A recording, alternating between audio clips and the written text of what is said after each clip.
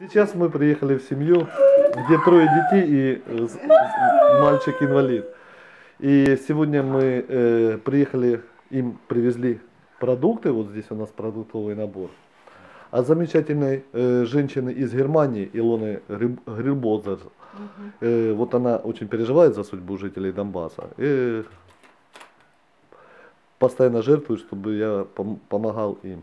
И вот э, это поселок Октябрьский. Да. Сколько тут до аэропорта? Застанционный. За стан- Сколько тут э, до аэропорта? Километров? Километр.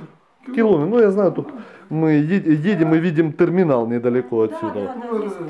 И э, также мы на памперсы э, им от Илоночки выделяем тысячу рублей. Спасибо, Де- Господи. Держите. Вот, Андрюшка, у нас кассир.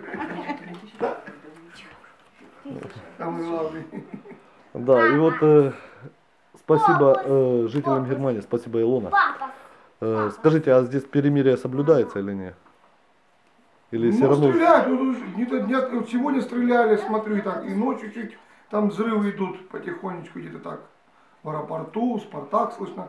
Вчера я шел, возвращался, я что-то вспышка такая на Спартаке, прилет был, взрывка такая неоновая, осветительная была, и стреляют, да. Да, то есть э, никакого перемирия нет.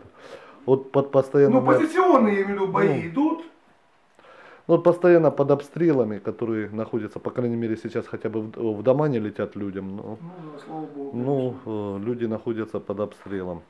Низкий вам поклон, спасибо огромное и за вашу помощь. И, Спасибо, да. как говорится, Спасибо. Слава Богу, что говорится, по милости Божией люди нас тоже понимают.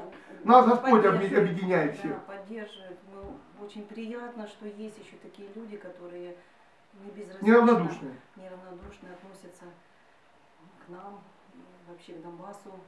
Это очень, очень приятно.